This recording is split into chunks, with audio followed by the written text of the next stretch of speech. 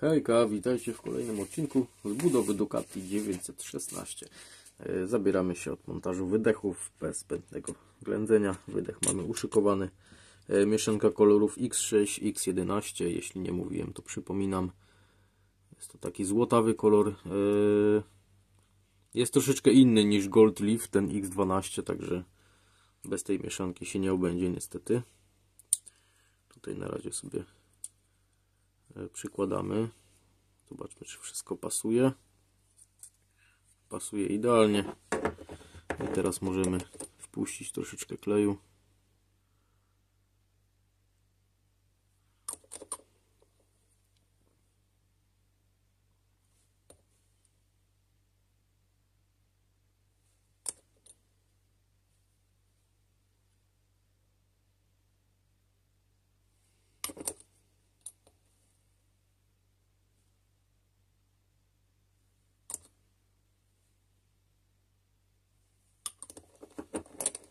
Dobra, pierwszy wydech mamy przyklejony.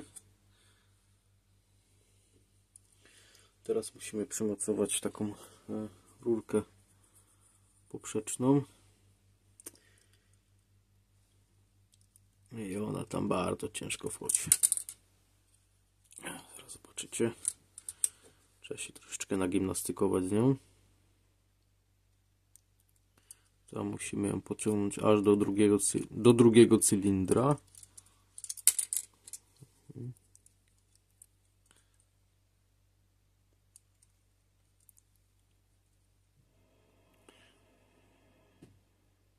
Dobra, jest w tamtym miejscu i tutaj musimy przyczepić.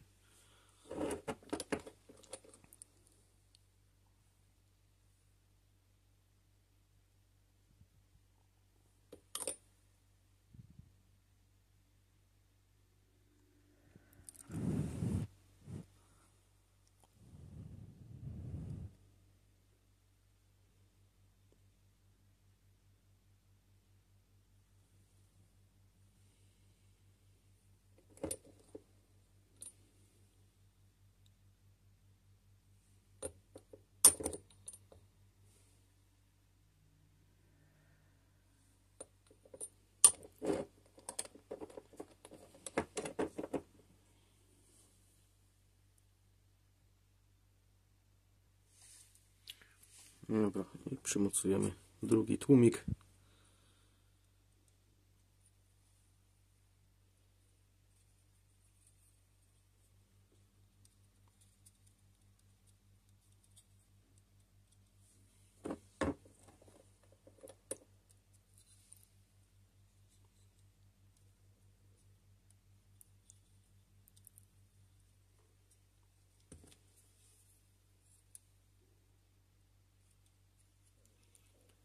Który coś tutaj nam nie chce wskoczyć. O, dobra, powinno być ok.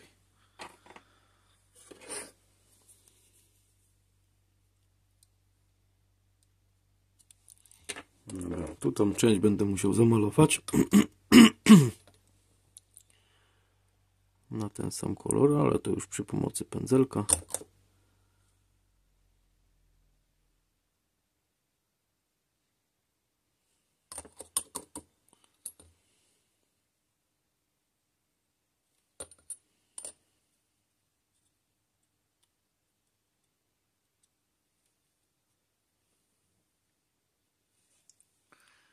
Tak się prezentuje cały układ wydechowy. E, I tutaj pędzelkiem i tą farbą, którą macie urobioną, e, trzeba ten element poprawić.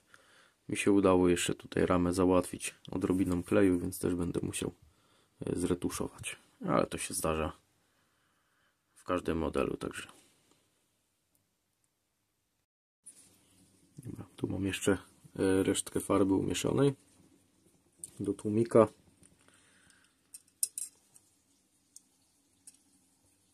Ona jest rzadka, bo zrobiłem pod aerograf, także musimy ją cieniutko tutaj kłaść. Mam nadzieję, że będzie bez problemu pokrywać.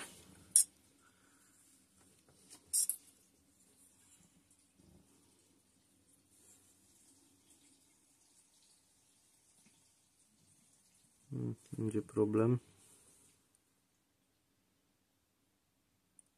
No niestety, trzeba będzie tutaj położyć podkład. Tak, muszę położyć podkład, bo niestety, ale jest za rzadka i nie pokrywa. Chyba, że się uda na kilka razy.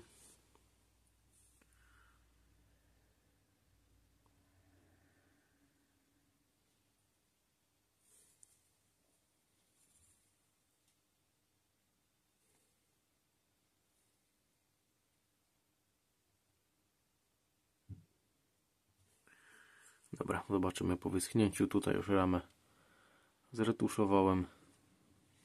A tu zobaczymy e, jak wyschnie. Położę kilka warstw. Może pokryję. Nie trzeba będzie specjalnie podkładu kłaść. Dobra, w międzyczasie zajmiemy się spinaniem oponki.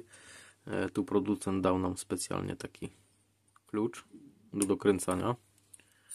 Także musimy go sobie wyciąć z ramki. Nakładamy oponę na felgę. Spróbuję z drugiej strony.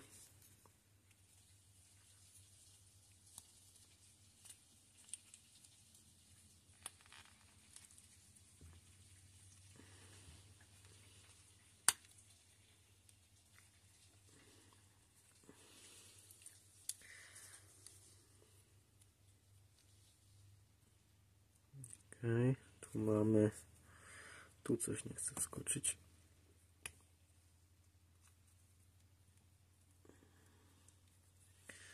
Dobra.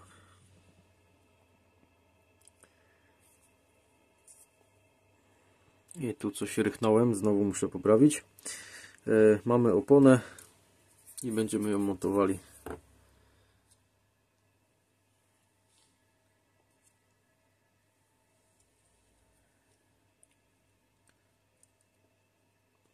miejscu.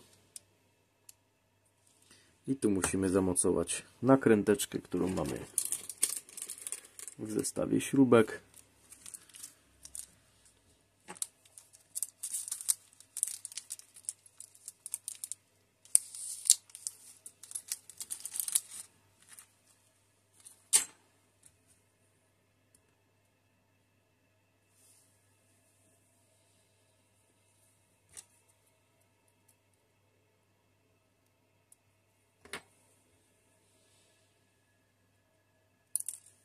Mhm.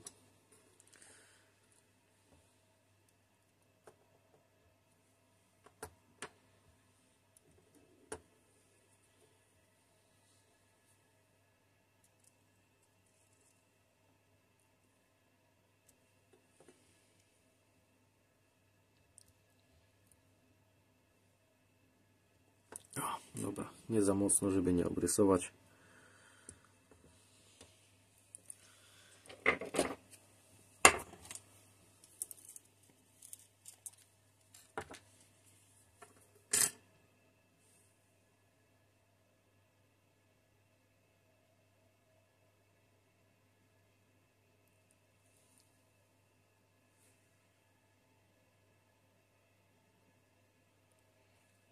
Dobra.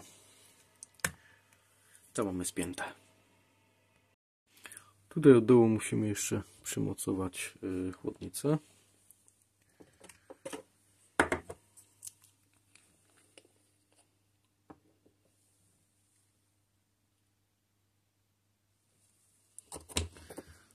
Ze względu na yy, przyłączenie tłumika nie mogliśmy tego robić wcześniej.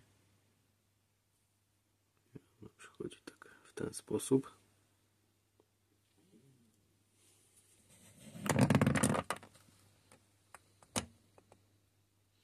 Wiem, że pokazuję Wam do góry nogami, ale innej perspektywy nie mam jak e, nie odwrócę, bo odpadnie, a musi ładnie przykleić. O. Tak mniej więcej to musi wyglądać. Dobrze, zajmiemy się teraz mocowaniem kółeczek do podstawki na tylne koło. E, ramę pomalowałem od tego stojaka tak samo jak e, ramę od silnika.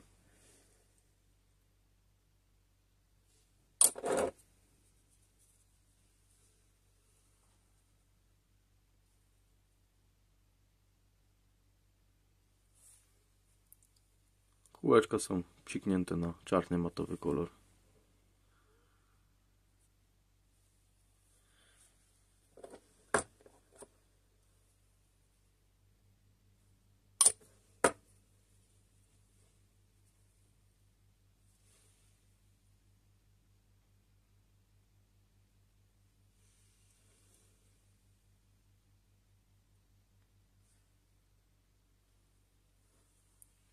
Dobra, Cały wózek się tak prezentuje. Na końcu zamontujemy sobie pod tylne koło.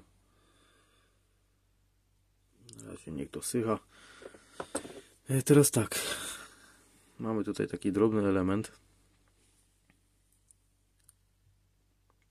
Miał być pomalowany właśnie tak samo jak tłumik.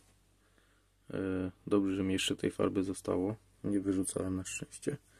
Musimy go wcisnąć tutaj w to miejsce od ramy.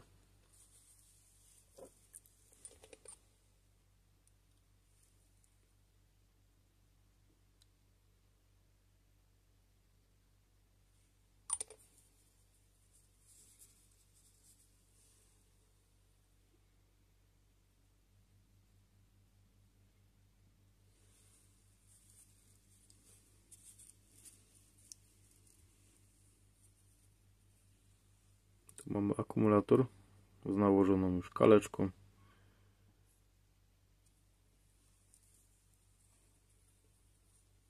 Jego musimy przykleić tutaj w to miejsce.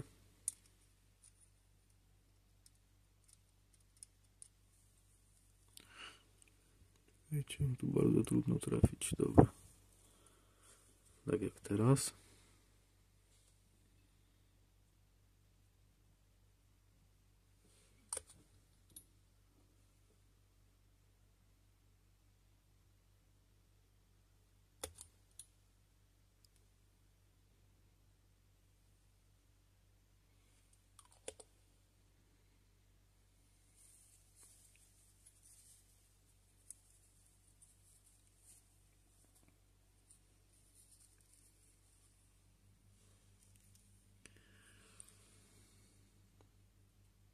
Teraz tu mamy podnóżek.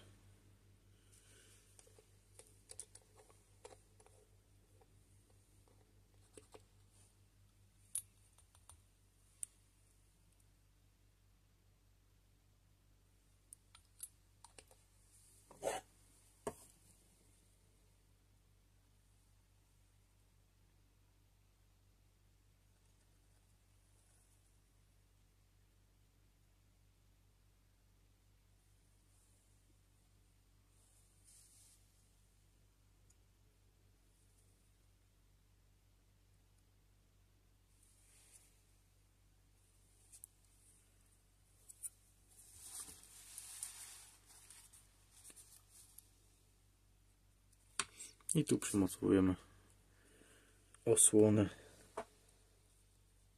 tłumika dla pasażera.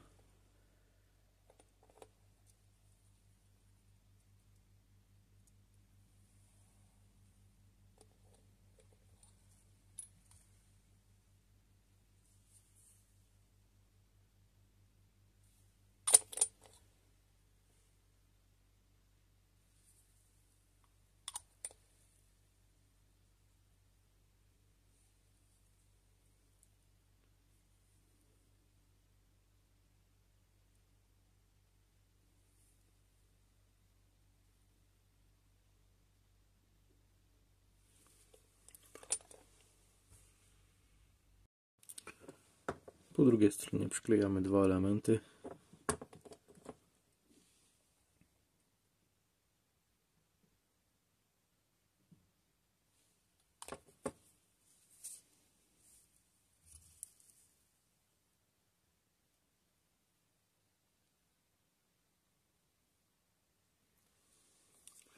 Tylny podnóżek i dźwigienkę od zmiany biegów.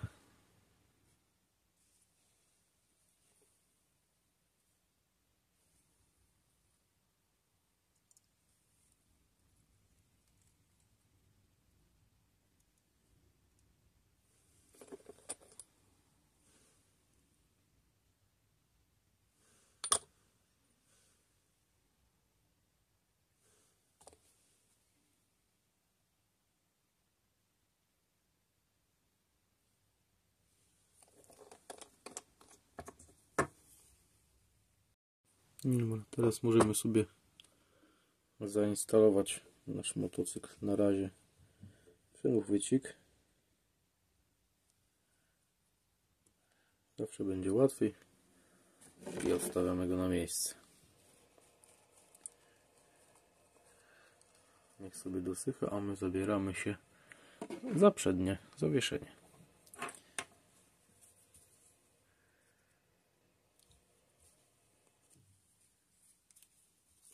Tarcze plus felgę i do tego jeszcze oponkę.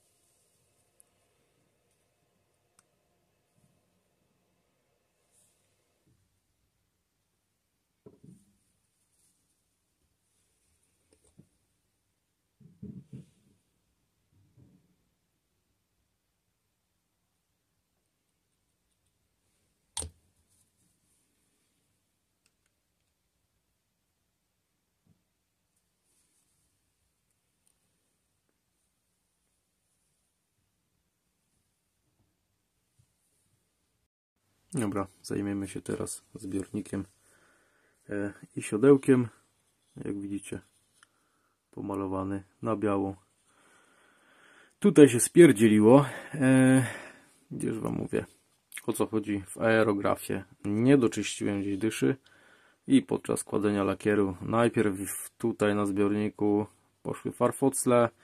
E, musiałem drugi raz kłaść biały na niego ponownie znowu lakier bezbarwny i znowu zrobiło się to samo, tym razem w innym miejscu. Ale już trzeci raz nie będę tego poprawiał, nie ma sensu. Zostałem tak jak jest. E, kalki mamy położone tutaj. E, jedyneczkę i tutaj Ducati.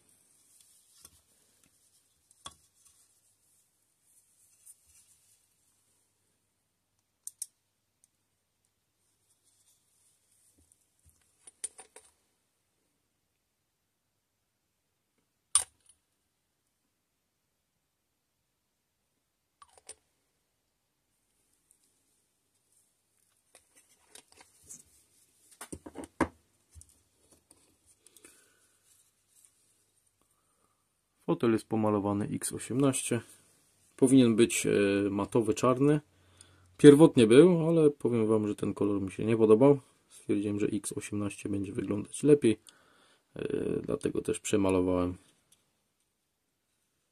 I wydaje mi się, że dużo lepiej wygląda niż taki e, matowy.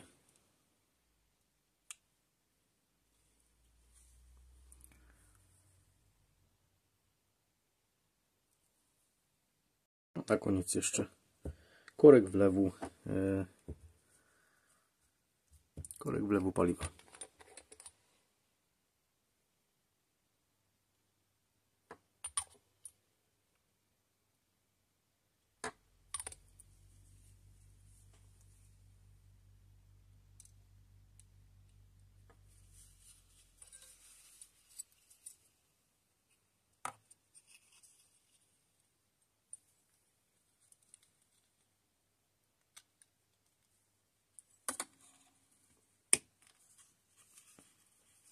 Skoczyło na miejsce i tą część mamy gotową.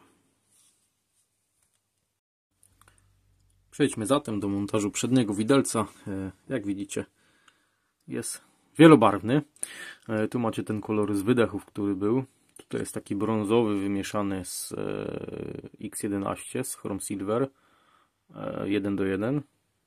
Taki dziwny ten kolor wyszedł, no ale producent tak zalecił i obwódki są białe. E, Dodatkowo kalka i zacisk e, jest X12 Gold. I tak się prezentuje. Mm. Co do karoserii, jak widzicie, biała i będzie biała. Mam nadzieję, że super to wyjdzie, będzie kontrastować elegancko. Także e, będziecie obserwować efekty. Elementy chromowane. Tutaj mamy górę, musieliśmy pomalować. Ten czerwony to jest e, X27 Red i niebieski mm, Mika Blue chyba użyłem bodajże, bo nie miałem innego niebieskiego. Tak musiało być to pokolorowane. XF16 Yy, tak, XF16. Chyba tak, flat aluminium. Wężyki. Wężyki już sobie uszykowałem. Idą do jednego, do drugiego koła i yy, do góry. I plus śrubeczki 2 cm. Jedna do spinania koła, druga do yy, spięcia z ramą. Także najpierw się zabierzemy za nałożenie.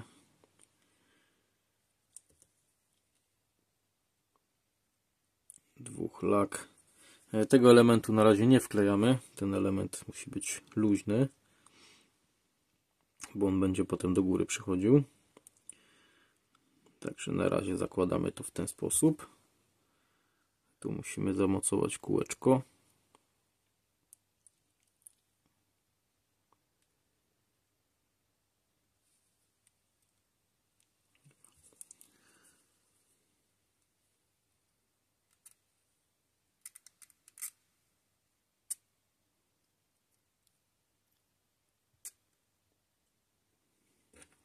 Dobra, na razie sobie na krótko go tutaj przyłapię. Mm, Zobaczymy, czy ten błotnik tutaj w takim układzie wejdzie, nie będzie z nim problemu.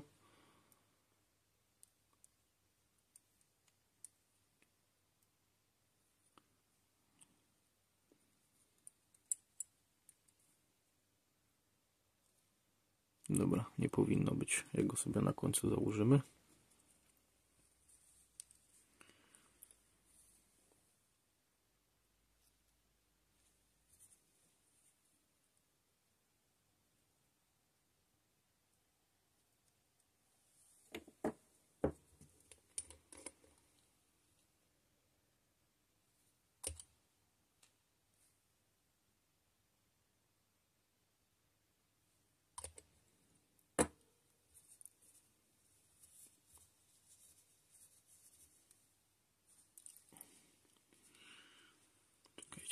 Razie sobie uprę. Nie zrobiłem najważniejszych rzeczy, nie ściągnąłem chromu.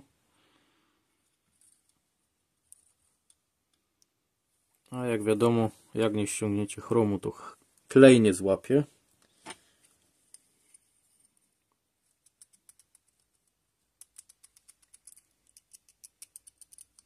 Także nożykiem tam skrobiemy.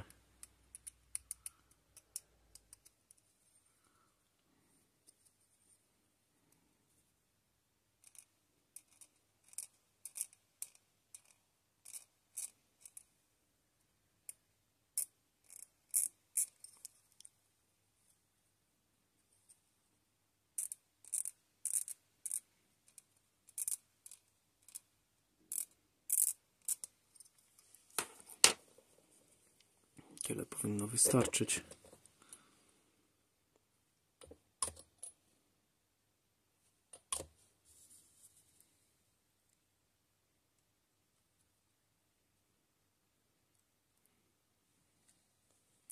Dobra, to tak jak mówiłem, na razie musi być luźne do zamocowania.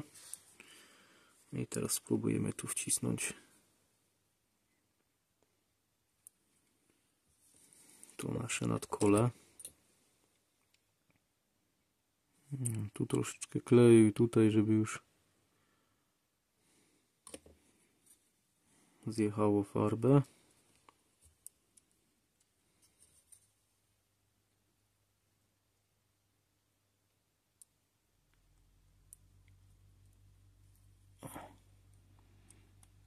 Dobra, wskoczyło.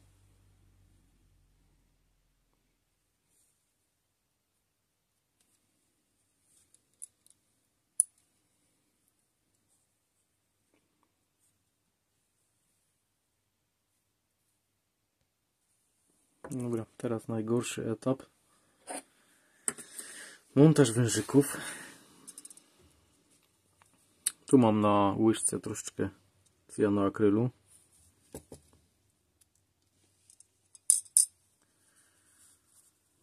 I próbujemy, nie?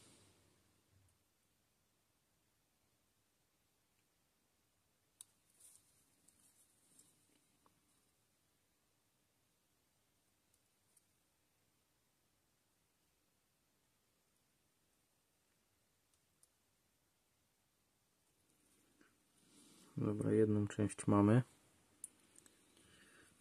Najgorsze jest to, że bardzo łatwo je połamać. To są takie plastikowe elementy dosyć delikatne. Musimy mocno uważać, żeby nie połamać. Wielokrotnie mi się to zdarzało, także jeśli Wam się zdarzy, to spokojnie. Nie jesteście jedyni.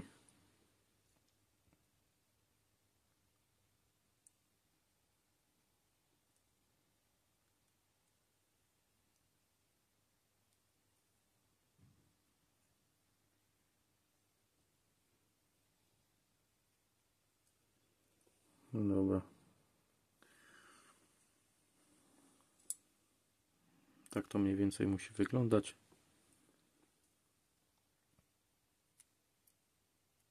O, i tu w tym miejscu, w tym wgłębieniu na błotniku musi się znaleźć ten oto przewodzik. I co moi drodzy, montujemy to w kolumnę.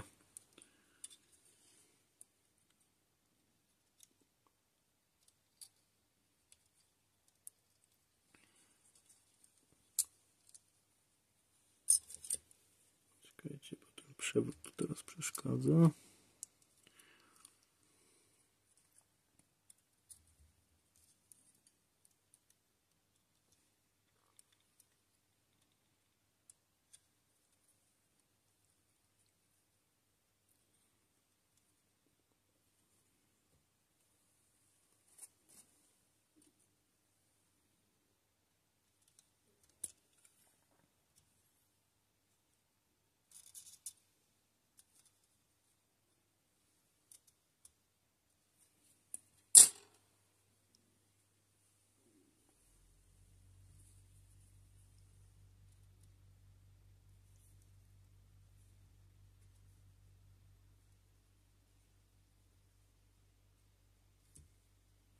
Ok, dobra.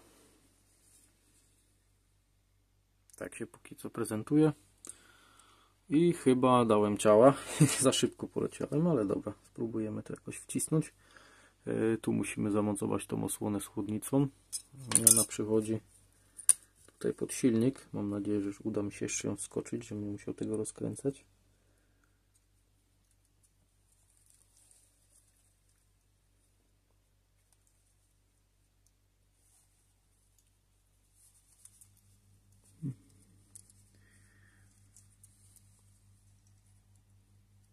Dobra, chyba się uda.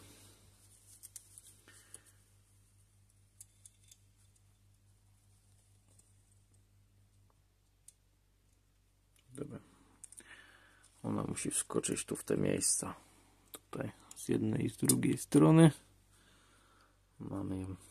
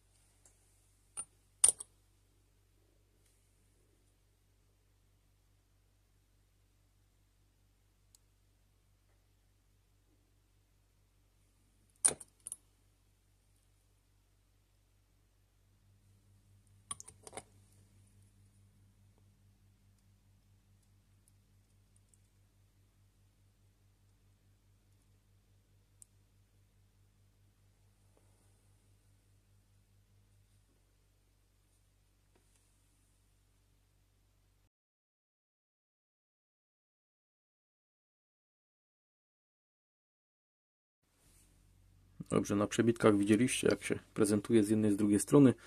O jednej rzeczy nie powiedziałem. E, muszę to doprecyzować. A mianowicie ten przewodzik, który jest, ja go zamocowałem sobie już e, wcześniej. Musimy tutaj przeciągnąć pod chłodnicą. To już musicie zrobić w tym momencie. E, I tutaj jest przewodzik, który idzie od chłodnicy do pompy wody.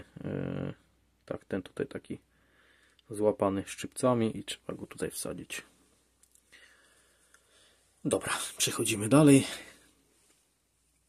Elementy, zaraz Wam pokażę od razu elementy. E, lampy. Co do lampy jest pomalowana tak samo jak wydechy, tak samo jak e, lagi z przodu. E, tylko taka mała niespodzianka, a mianowicie przednie światła zrobiłem czerwonkawe takie. Dlaczego nie? Fajny tuning. Zegarki. Mm, tu niestety będziecie musieli dużo pędzelkować, szczególnie ten element. Także cieniutki pędzelek 3 razy 0 4 razy 0 albo 5 razy 0 będzie najodpowiedniejszy. I do środka kalki. Eee, kalki się tak prezentują. Teraz tak. Yy, tu mamy taki amortyzator skrętu kierownicy. On się składa z takiego elementu i tutaj z rurki. Teraz Wam go pokażę, gdzie będziemy go montować. Tu jest jeszcze jakiś, nie wiem czy to czujnik, czy podstawa do zbiornika. I ona przychodzi w ramę. I tu mamy manetki z klamkami. Klamki zrobiłem czerwone w kolorze ramy. Myślę, że fajnie to będzie kontrastować. Nie znikną na całym modelu. Będą się wyróżniać. Dodatkowo już wkleiłem sobie zbiorniczki yy, płynu sprzęgła i płynu hamulcowego. Także tak się prezentują. Dobra, zabieramy się do pracy.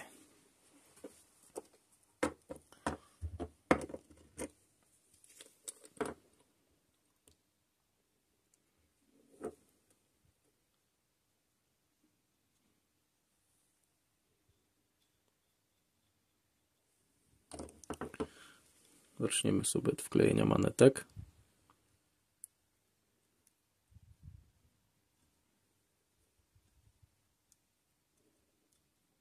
One przychodzą tylko w jednym możliwym ustawieniu, także nie pomylicie się. Są specjalnie wycięte.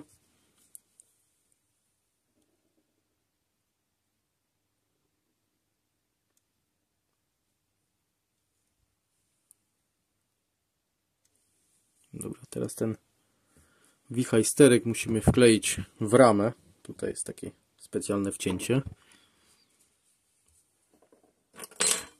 Ja sobie postaram tu tak złapać, żeby Wam mniej więcej pokazać.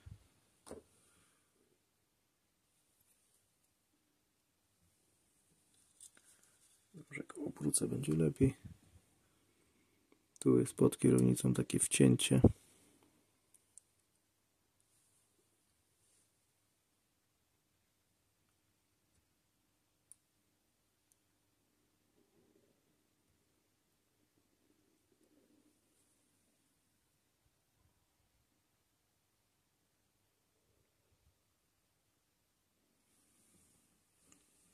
Jak już w tym miejscu jesteśmy, gdzieś ten amortyzator skrętu musimy zamocować. On przychodzi w ten sposób. Tak jak teraz.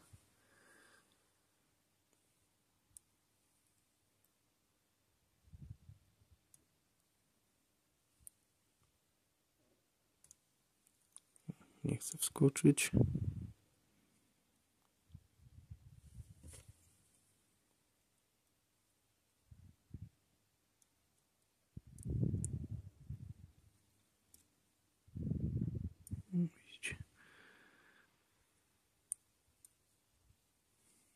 Dobra, zrobię to poza kamerą, bo pewnie chwilę mi zejdzie. Dobra, udało się wcisnąć, on jest tam na wcisk, także będziecie musieli troszeczkę pokombinować.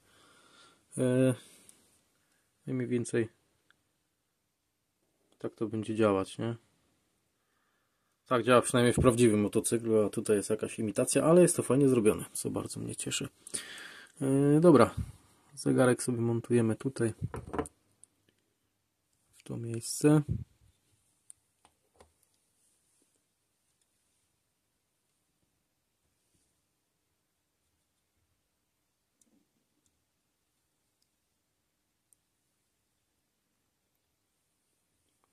Mamy zamocowane zegary.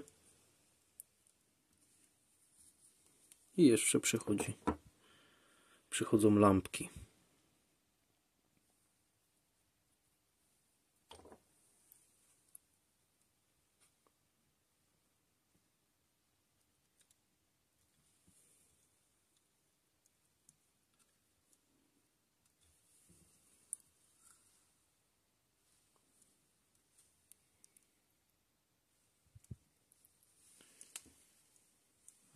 Na tą chwilę tak się prezentuje. E, Teraz tak, zanim założymy e, te osłonki boczne, musimy popodciągać wężyki. Ten długi przewód, o którym Wam mówiłem, e, montujemy tutaj. To jest przewodzik od sprzęgła. I z drugiej strony ten przewód, który od koła mieliśmy.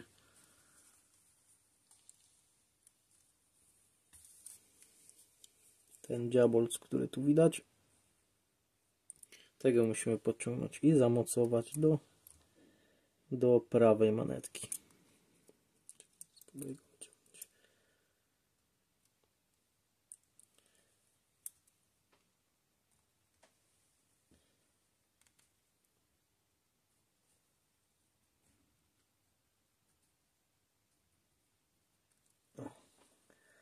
Dobra, ja już mam tego nasadzonego. Już Wam pokazuję. Widzicie tutaj pod spodem. Musi przyjść pod tym zbiorniczkiem i ten drugi przewód z tej strony tutaj.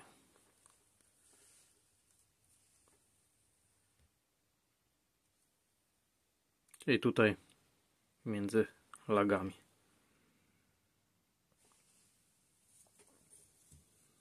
Teraz możemy przejść do osłon bocznych plastikowych.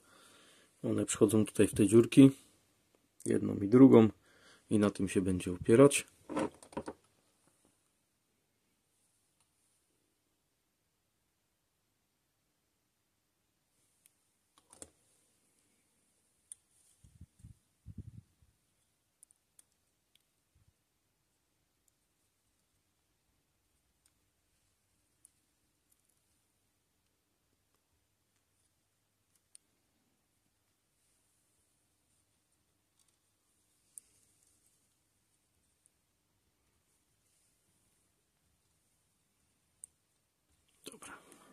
Jednej strony.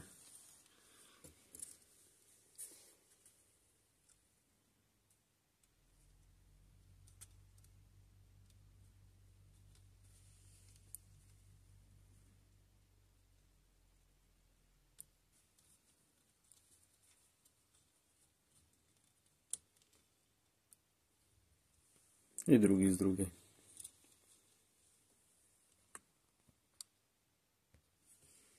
Dobrze, moi drodzy, ten odcinek zakończymy. Kolejny, już finałowy. Złożymy sobie boki, zbiornik i zrobimy ogólną prezentację modelu.